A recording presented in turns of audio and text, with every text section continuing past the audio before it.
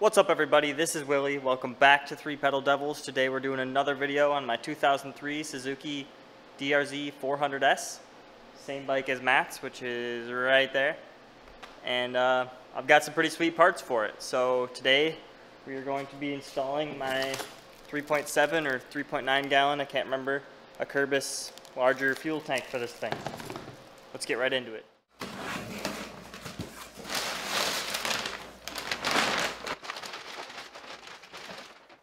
Son. Should hold some gas. So the reason I'm working on the DRZ so much and buying so many expensive parts for it is because in September, which is about eight, nine weeks from now, we are going to go on the Mid-Atlantic Backcountry Discovery Route. It's about 1,100 miles off-road, primarily through the uh, Appalachian Mountains, through Pennsylvania, West Virginia, and Virginia. Should be a great time. I think just Mat and I are going with one of our coworkers. The other two boys don't really have the proper bike for it, unfortunately, but maybe we can get them to go on a BDR with us in the future. And uh, yeah, so I'm gearing this thing up to make it as adventure ready as possible. I've gone on a couple rides with this thing so far and have been pretty annoyed stopping for gas every 90 to 100 miles on the stock DRZ tank. So I picked up this Acerbis tank, cost me maybe $260. Pretty pricey, but also a nice product and should help me out it should almost double my range. Won't have to stop for gas until about 150, 175 miles, which should be a lot safer on the MABDR. Um, lower the risk running out of gas. Some of the other parts I just got is this Tusk Excursion bagless, I guess, side bag system. Going rackless, gonna mount those up kind of back there. But I'm gonna keep this video focused on one thing. So today we're gonna stick to the Acerbis tank. But if you do wanna see that, that Tusk rackless system install. Subscribe to the channel, like this video, come back and check that one out. Should be pretty cool. And I'll probably do some reviews on this stuff after I get some more adventure rides in on it. Getting a little late start on this project, so I'm going to go ahead and switch to time-lapse, start tearing the old uh, tank off the bike, and see if we can make some progress on this thing.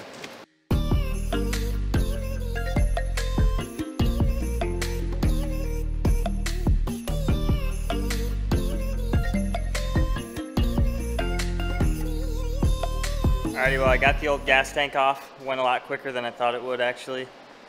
Uh, also lost the shirt because it's dumb hot. May or may not have had a little gas mishap, but uh, don't worry about that. What's up, guy? Ooh, wow. Did you spend monies? Yeah, over a hundred bucks. Harbor Freight runs are killer. You got the icon ratchet. Nice. I spent 85 today. I went for one plastic box and I spent $85.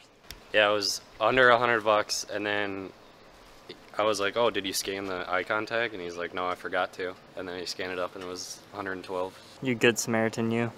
All right, I currently have no clue how to mount this. Off-road use only. That sounds like just a suggestion. Let's see what goodies we got in here. It's got three-step instructions. Should be pretty easy. All right, first step, I'm already taking L's. Step one says to insert the original overflow tube onto the cap. There is no original overflow tube because this is a DRZ 400S and had a locked gas cap, like most street legal bikes. This does say it's for DRZ 400S and SM, so it's not like I bought the wrong tank. They just didn't give me all the parts I need. Next step is to assemble the petcock. I've heard the petcock on this thing is pretty garbage, and just picking it up, I can already second that because the plastic feels not good. If it starts leaking, I might have to replace this, which kind of sucks when you buy a pretty expensive tank to have to buy a new petcock right away, even though this company makes good aftermarket petcocks that they also sell. So kind of a weird flex, but we'll see if it works. Another thing I just noticed about this garbage petcock is that it's not even a vacuum petcock like this bike comes with from factory. So I might still install it and just plug the vacuum line that was going to the old petcock, but tanks made specifically for this bike could have just made the petcock bolt right up and hook right up to the old vacuum line like the original one, but here we are. It's not going well. Self-tapping plastic screws. How do you feel about that, Tit? Hate them. Hate them so much. How is that gonna seal, honestly? Like there's just holes through the plastic. shitty self-tapping plastic screws and no O-rings for them. Okay, I'm on step two now. They want me to use bracket L and fasteners G, which are M6 by 10 button head cap screws, which they didn't supply any of in the kit. Even if you look at the rest of the parts list, fastener H is M6 by 30 socket head cap screw. They didn't provide any socket head cap screws in the kit. Doesn't even match their parts kit, so confusing. think I've got all their parts on here now. Longer hex bolt with the big washer, the rubber boot or the rubber grommet, and the little bushing on the bottom side of both of the mounting holes.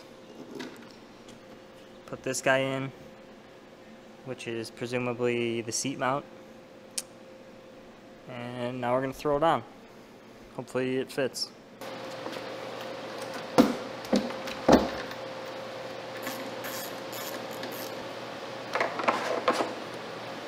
Now we got to do a seat fitment check because wise guy over there said it's not going to fit.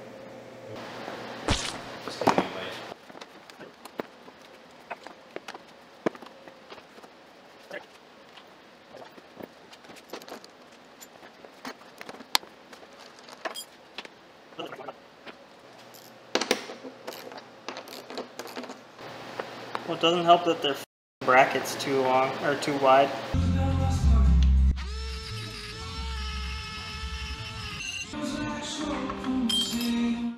I got the seat fitting now. I just had to grind off maybe an eighth inch or a quarter of an inch on the width of that little metal bracket for the front of the seat to clip into because it was not fitting in this seat that I have.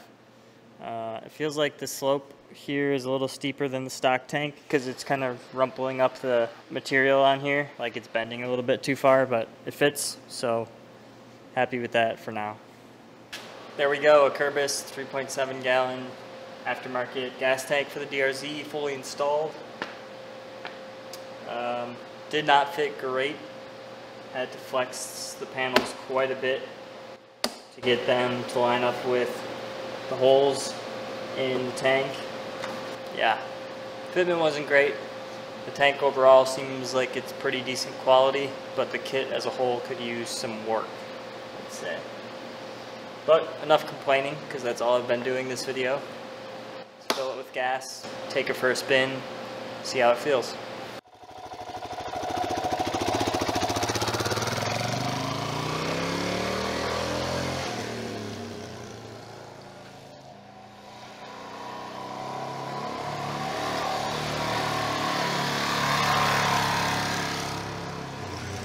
Thanks for watching. Gonna go get some gas.